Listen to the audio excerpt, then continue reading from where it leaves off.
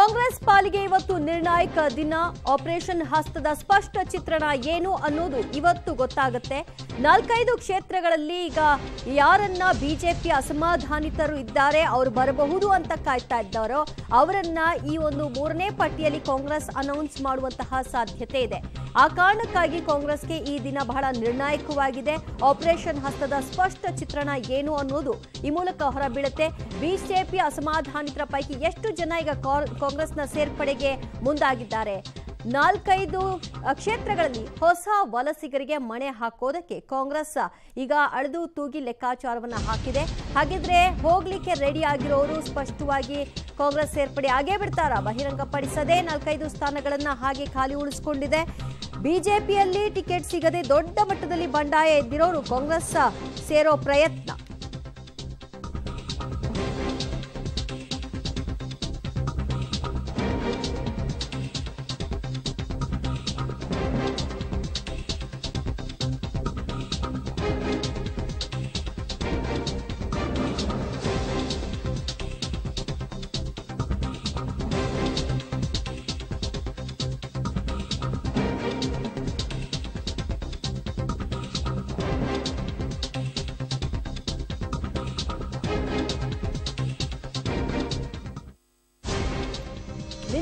ಹಾಗೆ ನೋಡಕ್ ಹೋದ್ರೆ ಕಾಂಗ್ರೆಸ್ನವರ ಮೂರನೇ ಪಟ್ಟಿ ಬಿಡುಗಡೆ ಆಗ್ಬೇಕಾಗಿತ್ತು. ಆದ್ರೆ ಸೂಕ್ತ ಅಭ್ಯರ್ಥಿಗಳ ಪಕ್ಷಾಂತರ ನಿರೀಕ್ಷೆಯನ್ನ ಏನ್ ಮಾಡಿದ್ರು ಅದು ಸದ್ಯದ ಮಟ್ಟಿಗೆ ಆದ ಹಾಗೆ ಕಾಣಿಸ್ತಾ ಇಲ್ಲ. ಹಾಗಾಗಿ ವಿಳಂಬ ಆಗ್ತಾ ಇರುವಂತೆ ಕಾಣಿಸ್ತಾ ಇದೆ. ಯಾರ್ಯಾರ ನಡೆ, ಯಾವ್ಯಾವ ಕಡೆ ಅನ್ನೋದು ಕೂಡ ಸ್ಪಷ್ಟ ಚಿತ್ರಣ ಕಾಂಗ್ರೆಸ್ಗೆ ಸಿಗ್ತಾ ಇಲ್ಲ.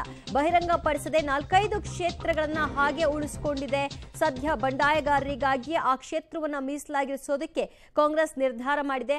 ಯಾವ್ದ್ಯಾವುದು ಅದು ಅನ್ನೋದನ್ನ ಗಮನಿಸೋದಾದ್ರೆ ಪ್ರಮುಖವಾಗಿ ಬಿಜೆಪಿಯಲ್ಲಿ ಟಿಕೆಟ್ ಸಿಗ್ಲಿಲ್ಲ ಅಂತ ರೆಬಲ್ ಆಗಿರುವಂತಹ ಲಕ್ಷ್ಮಣ ಸೌದಿ ಮೇಲ್ಮನೆ ಸದಸ್ಯ, ಅವರು ಬಂಡಾಯವನ್ನ ಎದ್ದಿದ್ದಾರೆ. ಅಥಣಿ ಕ್ಷೇತ್ರದಿಂದ ಅಭ್ಯರ್ಥಿ ಆಗಬೇಕು, ಟಿಕೆಟ್ ಕೊಡ್ಲಿ ಅಂತ ಬಿಜೆಪಿಯಲ್ಲಿ ಎದುರು ನೋಡ್ತಾ ಇದ್ರು. ಆದ್ರೆ ಅಲ್ಲಾಗ್ಲಿಲ್ಲ.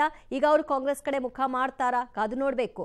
ಇನ್ನು ಎಂ ಪಿ ಕುಮಾರಸ್ವಾಮಿ ಶಾಸಕರು, ಅವರು ಕೂಡ ಮೂಡಿಗೆರೆ ಕ್ಷೇತ್ರದ ನಿರೀಕ್ಷೆಯನ್ನ ಮಾಡಿದ್ರು ಬಿಜೆಪಿಯಿಂದ. ಆದ್ರೆ ಟಿಕೆಟ್ ಕೈ ತಪ್ಪಿದ ಹಿನ್ನೆಲೆಯಲ್ಲಿ ಅಸಮಾಧಾನ ಸ್ಫೋಟಗೊಂಡಿದೆ. ಈಗಾಗಲೇ ಪಕ್ಷಕ್ಕೆ ರಾಜೀನಾಮೆಯನ್ನ ಸಲ್ಲಿಕೆ ಮಾಡಿದ್ದಾರೆ. ಅವರ ನಡೆ ಕಾಂಗ್ರೆಸ್ ಕಡೆಗ ಅನ್ನೋದು ಈಗಿರುವಂತಹ ಯಕ್ಷ ಪ್ರಶ್ನೆ. ಇವರನ್ನ ಸೆಳಿಲಿಕ್ಕೆ ಕಾಂಗ್ರೆಸ್ ಇನ್ನಿಲ್ಲದ ಪ್ರಯತ್ನಗಳನ್ನ ಮಾಡ್ತಾ ಇದೆ. ಅದೆಲ್ಲವೂ ಕೂಡ ಸ್ಪಷ್ಟವಾದ್ರೆ ಮೂಡಿಗೆರೆಯಿಂದ ಎಂ ಪಿ ಕುಮಾರಸ್ವಾಮಿ ಅವರನ್ನ ಕಾಂಗ್ರೆಸ್ ಕಣಕ್ಕಿಳಿಸುವಂತಹ ಸಾಧ್ಯತೆ ಇದೆ. ಶಾಸಕ ನೆಹರು ಓಲೇಕರ್ ಪಕ್ಷದ ವಿರುದ್ಧ ಅಸಮಾಧಾನಗಳನ್ನು ಸ್ಫೋಟ ಮಾಡಿದ್ದಾರೆ. ಜೊತೆಗೆ ಮುಖ್ಯಮಂತ್ರಿಗಳ ವಿರುದ್ಧ ತಮ್ಮ ಅಸಮಾಧಾನವನ್ನು ವ್ಯಕ್ತಪಡಿಸಿದ್ದಾರೆ.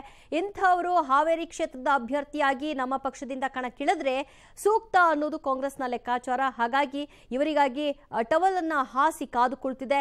ಜೊತೆಗೆ ರಘು ಆಚಾರ್ ಮಾಜಿ ಮೇಲ್ಮನೆ ಸದಸ್ಯ ಚಿತ್ರದುರ್ಗದಿಂದ ಅವರು ಅಭ್ಯರ್ಥಿ ಆಗಬೇಕು ಅಂತ ಬಯಸಿದ್ರು. ಅವರು ಸದ್ಯ ಕಾಂಗ್ರೆಸ್ ಕಡೆಗೆ ಹೋಗ್ತಾರಾ ಜೆ ಡಿ ಎಸ್ ಕಡೆಗೆ ಹೋಗ್ತಾರಾ ಅಥವಾ ಪಕ್ಷೇತರರಾಗಿ ಕಣಕ್ಕಿಳಿತಾರಾ ಅನ್ನೋದು ಇನ್ನೂ ಗೊತ್ತಾಗ್ತಾ ಇಲ್ಲ. ಸದ್ಯ ಚಿತ್ರದುರ್ಗದಲ್ಲಿ ರಘು ಆಚಾರ್ಗಾಗಿ ಕಾಂಗ್ರೆಸ್ ವೇಟ್ ಮಾಡ್ತಾ ಇದೆ.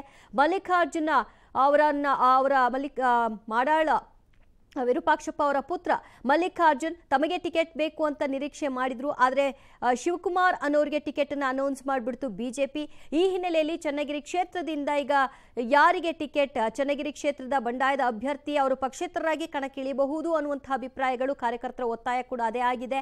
ಇನ್ನು ಮುದ್ದ ಹನುಮೇಗೌಡ ಅವರು ಮಾಜಿ ಸಂಸದರು, ಅವರು ಕುಣಿಗಲ್ ಕ್ಷೇತ್ರದ ಅಭ್ಯರ್ಥಿ ಆಗಬೇಕು ಅಂತ ಬಯಸಿದ್ರು, ಟಿಕೆಟ್ ಸಿಗಲಿಲ್ಲ. ಆ ಕಾರಣಕ್ಕಾಗಿ ಅವರು ಬಂಡೆದ್ದಿದ್ದಾರೆ. ಪಕ್ಷೇತರರಾಗಿ ಅವರು ಕಣಕ್ಕಿಳಿಬಹುದು ಅನ್ನುವಂತಹ ಸಾಧ್ಯತೆಗಳಿದೆ. ಎನ್ ಆರ್ ಸಂತೋಷ್, ಬಿಎಸ್ವೈ ಸಂಬಂಧಿ ಸಾರಿ ಅವರ ಆಪ್ತ ಅವರು ಕೂಡ ಟಿಕೆಟ್ ಬಯಸಿದ್ರು. ಅವರು ಪಕ್ಷೇತರರಾಗ್ತಾರಾ ಜೆ ಡಿ ಎಸ್ ಕಡೆ ವಾಲ್ತಾರ ಅನ್ನೋದು ಕೂಡ ಈಗಿರುವಂತಹ ಪ್ರಶ್ನೆ. ಇನ್ನು ಗೂಳಿಹಟ್ಟಿ ಶೇಖರ್, ಮಾಜಿ ಸಚಿವ, ಹೊಸದುರ್ಗ ಕ್ಷೇತ್ರದ ಅಭ್ಯರ್ಥಿ ಆಗಬೇಕು ಅಂತ ಬಯಸಿದ್ರು. ಸಿಗ್ಲಿಲ್ಲ ಟಿಕೆಟ್. ಆ ಕಾರಣಕ್ಕೆ ಅವರು ಜೆ ಡಿ ಎಸ್ನಿಂದ ಕಣಕ್ಕಿಳಿತಾರಾ ಅಥವಾ ಪಕ್ಷೇತರರಾಗ್ತಾರಾ?